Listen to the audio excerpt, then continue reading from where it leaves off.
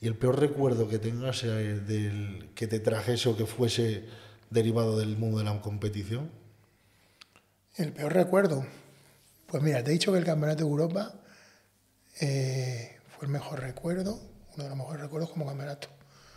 Luego, una semana después, gané en Portugal, en peso pesado, un internacional, que fue cuando ya tenía acceso al carne pro. Pues el peor recuerdo fue el día siguiente. Que dije, hostia, es que, que en ese momento dices, es, es, un pro, pero para mí no tiene consideración de pro, pero fue como, pff, esto, ¿qué hago? dije, esto no, de una sensación absoluta de, de pérdida, tío, Sí, de, llegaste de falta de objetivos, de decir, bueno, ya he llegado, o se supone que ya había llegado, ¿y ahora qué? ¿Ahora qué hago? ¿Para dónde voy? Y tomé la peor determinación de mi vida, que fue seguir compitiendo, no descansar, y empalmar campeonatos y campeonatos y campeonatos. Eso fue un error eh, brutal.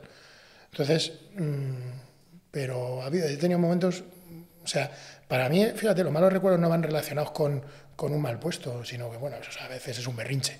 Pues dices, he quedado tercero y tenía que haber quedado primero, segundo, he quedado quinto y tenía que haber quedado tercero.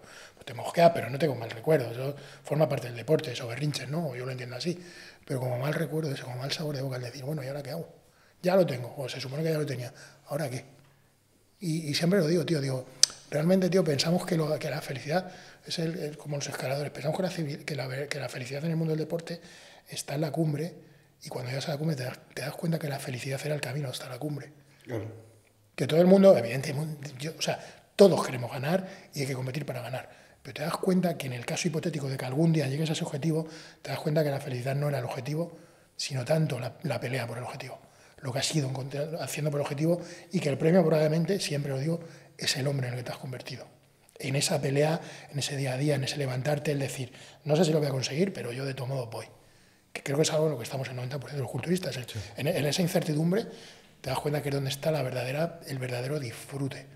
Porque una vez ya dices, venga, ya he conseguido lo que quería, ahora qué consigo, ahora qué hago. Eh, Cinco kilos más, otro campeonato, ya es algo más, ya no es lo que te has propuesto en un primer momento.